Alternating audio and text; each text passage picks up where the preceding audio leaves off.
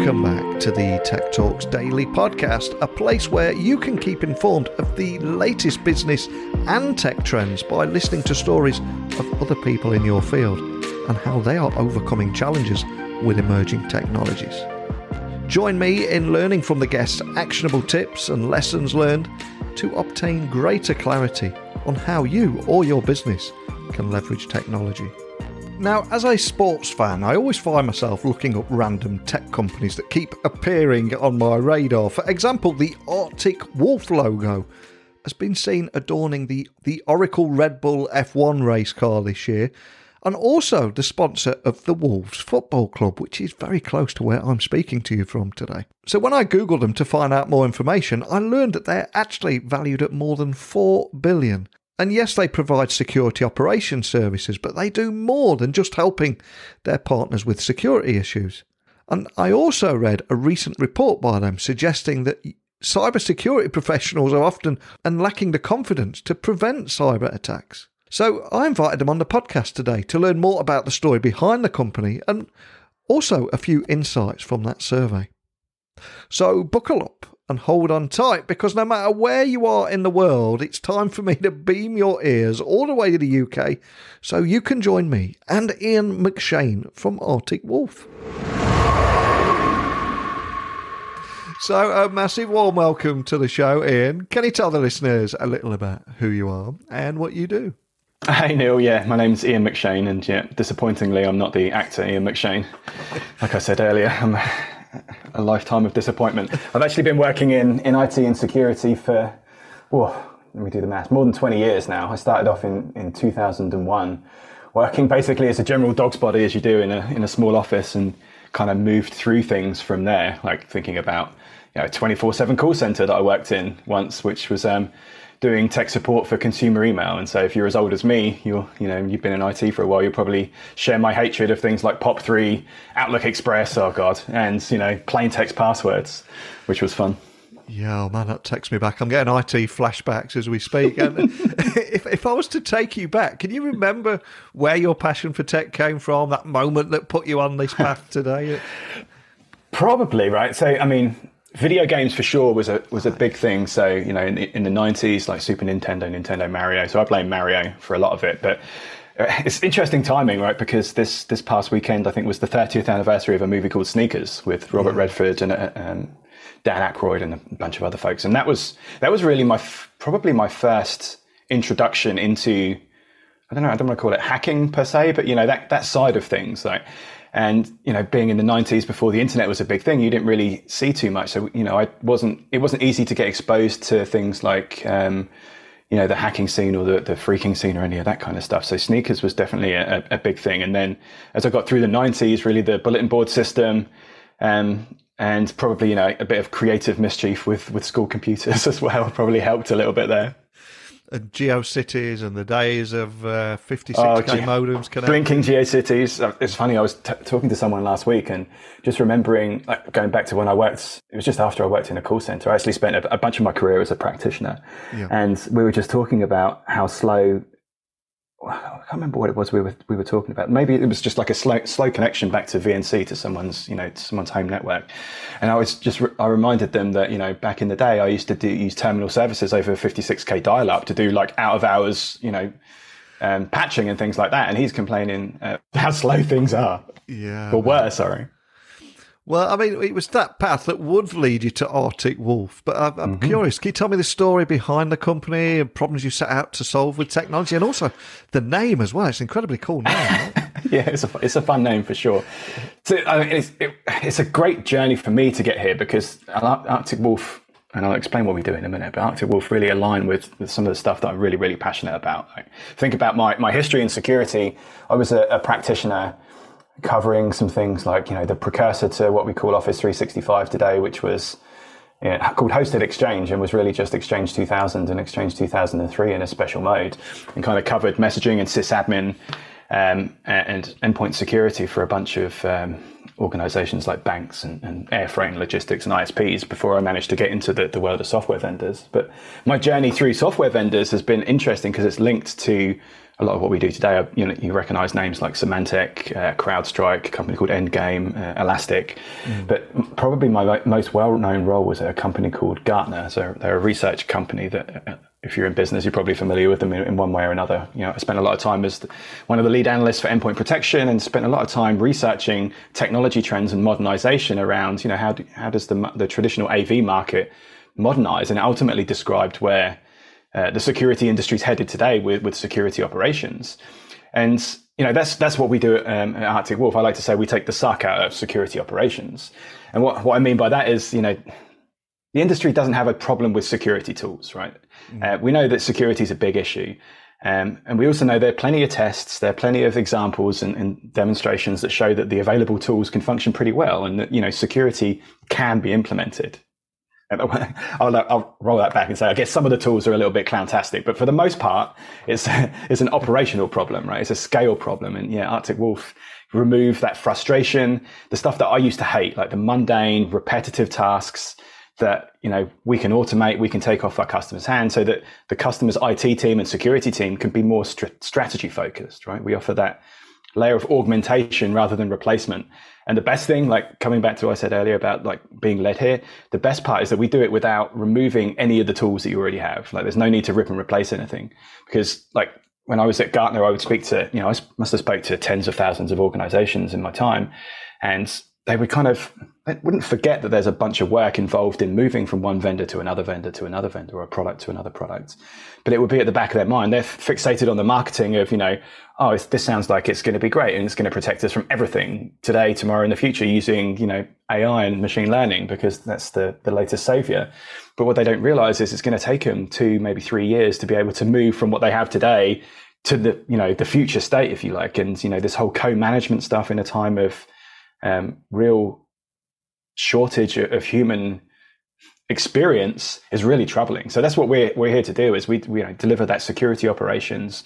We do it with the the tools you already have and really just you know bring a, a level of scale that's almost impossible for many organizations to implement themselves.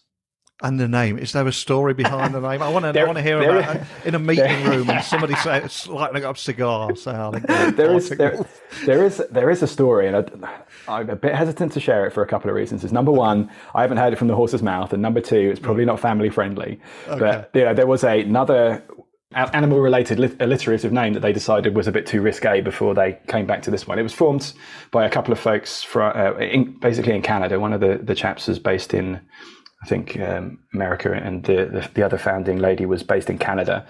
So you know it's a very cold area, a lot of snow, and I think they you know they picked Arctic Wolf in the end as a, a way to not only give an interesting brand, but also you know it's it's about the way that we go to business. Like it's the power of the pack. Like we're here to, yeah. to support all of our customers. So there's some some nice um, uh, synergy there too. Hundred percent. And one of the reasons I invited you to join the podcast today was, according to your recent survey, UK cybersecurity professionals are currently overworked and lacking confidence to stop cyber attacks, and that's before we even get to the fact that there's a, a huge shortage of them out there as well. yeah. But can you tell me more about the survey and, and the insights you uncovered? Yeah, I mean, surveys kind of ten a penny, in, especially in security. But what what we wanted to do was not focus on it from a perspective of how terrible the industry is, but more about how does it make the employees feel, right? Especially if we're coming off this couple of years, almost three years now of, you know, pandemic induced change mm. for almost everyone in, in a working capacity, you know, and with cybersecurity becoming even more important, you know, we see the, the number of air quotes normal organizations um, suffering from security incidents is, is grown and grown and grown and everyone's at risk. So we really wanted to understand what it was like to be a practitioner rather than, you know, continually talking to decision makers and, and company owners. So I think we got some really good information. And, and, and like you point out, you know, that there's um, a lot of a lot of worry about not being able to do everything and lacking confidence and, and just generally overworked. And ultimately, that's because you know it's expensive to do security. Despite what the other vendors will tell you, there's no easy button, right? And there's no one size fits all, and no magical AI is going to replace the need for humans the way I the way I kind of think about it or, or, try to explain why it's so hard for organizations to hire enough people right now is not that there's not enough people looking for a job, but one part of it is just that it's expensive, right? You imagine every organization would love to have 24 7 security operation, right? Someone monitoring things 24 hours a day. Well, that's going to take what a minimum of three people, right, to cover three eight hour shifts. Then you have to factor in holidays and sickness. So that's maybe another what, two people. So you're talking five people in, in total to get the bare minimum. And then like, let's just say that the total package, the cost of, of hiring someone to an employer is, you know, let's say 70K per person, which is probably way low, right? Mm. Just pulling numbers out of the air. So you're talking about seven times five, 350 grand before you even get to the tools, the operating side of things, right? So there's a huge, huge huge investment for organizations. And you know smaller organizations dropping nearly half a half a, a million dollars on yeah, yeah. the bare minimum is you know it's, it's not surprising what you know that you find organizations probably not doing enough. Number one they don't know. And number two if they do know they're like wow shit that's expensive and as I said, there is a well documented critical skill shortage in cybersecurity, and a lot of people are promoting internally and training yeah. with internally. But your survey also revealed that 30% of cybersecurity workers claim that they don't know how to use their organisation's security tools effectively. a little bit worrying, but can you expand on your findings there? Yeah, I, I actually think that's pretty low, right? Yeah. Um, I think I think I said earlier we've proven this isn't a tools problem, right? It's a scale problem. You know, we've we take we've got successful customers. We've got a lot of successful customers that use the tools they already have in place. So, you know, it's not a tools problem, it's a scale problem. And that means, you know, for decades, really, this, this industry has made a fortune by selling tool after tool and add-on after add-on and buzzword after buzzword. And so when an organization has accumulated, you know, upwards of 30 security tools, that's a lot to learn and a lot to manage. And so you can understand that, you know, it's impossible to be an expert in all of those um, kind of capabilities, right? Yeah, man. And, and, I also read in there another thing that stood out because we, if a company gets hit with the inevitable attack, and we uh-huh. all, I think we can all agree it's going to be inevitable, that somebody's going to be the fall guy in all this. And 56% believe that they would be blamed by their management if their organisation, organisation experienced a breach. Are, are you seeing a rise in blame culture like this? I'm, laughing because I think again I think that's low. I mean I think in a yeah, lot of organisations that you know that don't have a dedicated security function, that maybe don't have someone like a CISO or a CISO role where they understand how risk and governance and security works together as part of the you know the business rather than just a nice to have it's not surprising that people think they're going to get blamed because if you have one person that understands security and again air quotes for people that can't you know see me making yeah. rapid air movements air quotes like when security's broken it's their fault. Someone's going to take the blame. And if there's only one security person then it must be their fault. But you know you say blame culture i think historically and frustratingly to me it, it drives me absolutely mad. There's a infosec in general is, is is a blame culture, right? Think about yeah. it. End users are stupid, right? That's yeah. that's the claim. End users click links. End users open emails. Really dumb things. And it, you know, and again, I'm being sarcastic. It's not dumb things. Like links were yeah. designed to be clicked. Emails are meant to be open. Yet we, as an industry, lambast people for doing what they're supposed to do. So there's there's definitely a blame culture in infosec. Fortunately, I think that's starting to change now. I think as again, security is becoming more critical and more embedded into um, just business operations and you get more um, leadership with uh, an awareness of security, that kind of blame culture is starting to drop down. People aren't thinking about end users being dumb as much. People don't tend to laugh so much about, you know, password books. In fact, like I'm going off on a bit of a tangent. This this is a great time of year to really figure out who in your network you might not want to hire in security because we're coming up to uh, Cybersecurity Awareness Month in October, and you know some of the there's there's an element of cybersecurity practitioners that, that think it's a waste of time. You know, it's not geared towards them. So when they start mocking all of the good work that you know CISA in the US and the NCSC in the UK start doing for educating the broader audience about cybersecurity and the risks of, of security, you can start to see, well, you know, maybe I don't want to hire those kind of people, the ones that are mocking password books and stuff that are, you know, perfectly valid solutions for a lot of people's threat models. Anyway, and I'm, and I'm curious for anybody listening out there if they have been shown the door and, and told the words you had one job and the event never breached. I'd love to hear from them. But yeah, I mean, you live and breathe this space. Did, did, does anything in the report surprise you at all? I mean, honestly, the surprising thing for me was that that 50, 56%, um, because that means that 44% of people are like, nah, cool, I'm good. Like if we get ransomware tomorrow, I'm good. Whereas I think, you know, if I was, certainly if I was in a sysadmin role or in a IT security role right now for you know, a, a mid-sized organization, or especially if I'm the only person doing security for any kind of organization, I would be like, yeah, 100%. If something happens, you know, I'm out. That's why I'm constantly looking for a new job. so I'm curious, with that in mind, what keeps you up at night? What what kind of things are you following and make, making uh, you nervous?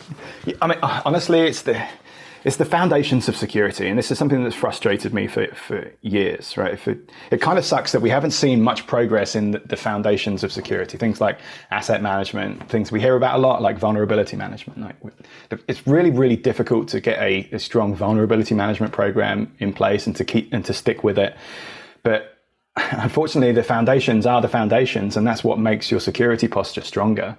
Um, and you know, I've kind of joked about that this industry, you know, selling more tools and more tools. They want to they want to chase the, the, the marketing stuff, the shiny stuff that's going to make more dollars, is sell more things, right? They don't want to they want to turn people into Mr. Robot. They don't want to sell yeah. the stuff that hasn't been done for, for 20 years. And, you know, I'll give you an example of how, how little has changed in vulnerability management. It's like when I was a practitioner running a, a sysadmin team, we would like any good sysadmin team, go for a beer at lunchtime on a Friday to, you know, discuss what we were doing at the weekend or what had happened during the week. And one, one element that we started doing was we would all vote amongst the team. There was like six of us and we would vote for which guy or girl had said or done the stupidest thing that week and that would be who would be on patch management duty for the next week. So patch management is like was like a punishment. It was yeah. like um, you know, you screwed up so badly that you're going to be getting up in the middle of the night to to patch all these servers next week.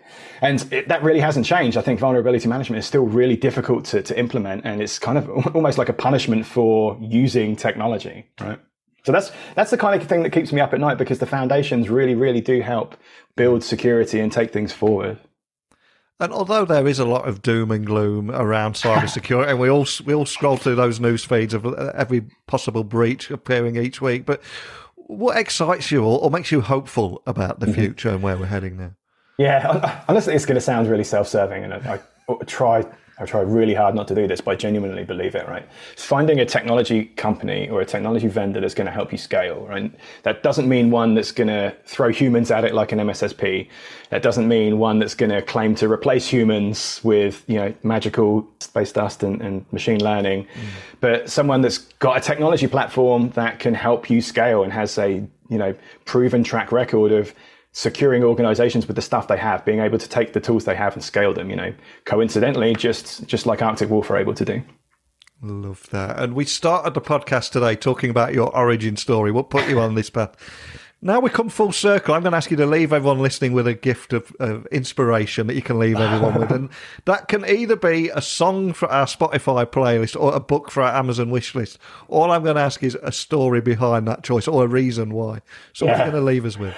I was, I was giving this some thought over the last couple of days. I've got a very eclectic music taste, and I was yeah. like, you know, I could drop a real curveball onto your Spotify playlist and see how that goes. But well, before I'm you gonna... do that, a while ago, somebody uh, suggested pirate metal, so we had a, we got a pirate metal. oh yeah, I, I like pirate metal. I'm down with that. I'm down with that. I was so instead of instead of throwing a random song on there, I thought I would recommend a book that I read um, earlier this year, and I actually read it. It was just after the the Christmas holidays, or towards the end of the Christmas holidays, and I had a day off, and I read the entire thing from start to finish in like 17 hours. And it's a, it's a book called "This Is How They Tell Me the World Ends." Colon the cyber weapons arms race and it's by a lady called nicole perlroth and it's it's a, i actually think it should be required reading for people in cybersecurity because it's a really really really good investigative story into parts of cybercrime that honestly the average person has no idea exists, right? It gives a great example of why everyone is a target or everyone is, is the transport to a target. It gives an example of why vulnerabilities are so critical and why information security professionals talk about vulnerability management.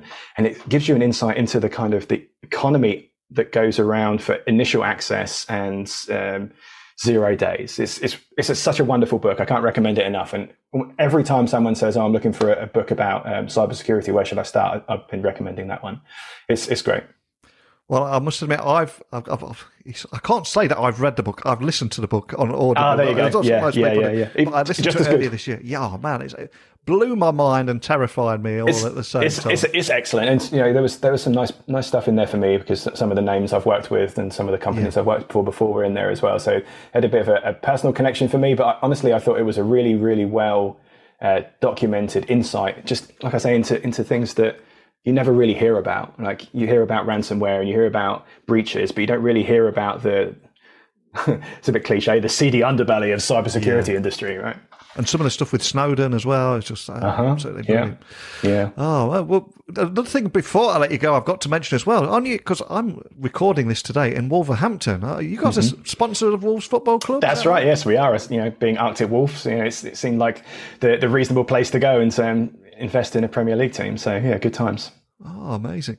And for anyone listening that'd like to find out more information about Arctic Wolf, what the work you're doing, maybe check out that report. What's the best starting point for everything?